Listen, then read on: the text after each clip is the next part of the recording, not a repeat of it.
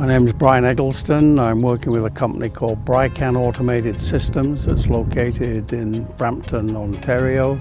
I look after the technology side of the business. I was responsible for the aircraft design and the size of it, the payload that it carries. And we're here today to test an aeroplane uh, called the TD100 which has been designed by the company. It's a, a, new, what we call a manned airplane. This time the tests are particularly focused on flying an Applanix camera, uh, which is very vital to our future because it gives us a new line of business.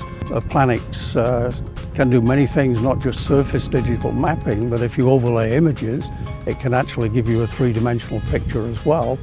So we've been flying quite close tracks, so the images overlap so they will be able to check the accuracy and see if we can reproduce uh, vertical imaging as well as uh, surface imaging.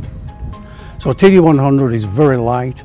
It has a capability of carrying large cameras uh, relative to others in its class.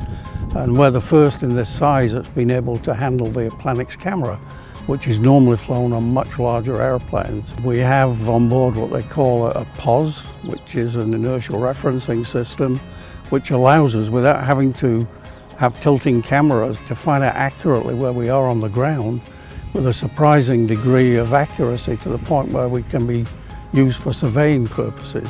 So there's a whole new line of business that will evolve around that application. Well, choosing a was dead simple. They're, they're world leaders in the field and it was important to us to put their equipment in our aeroplane, but also to marry it with other sensor systems so we could carry several payloads.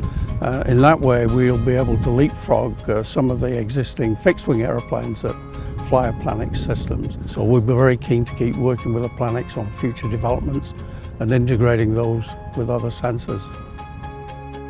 Applanix. Capture everything precisely.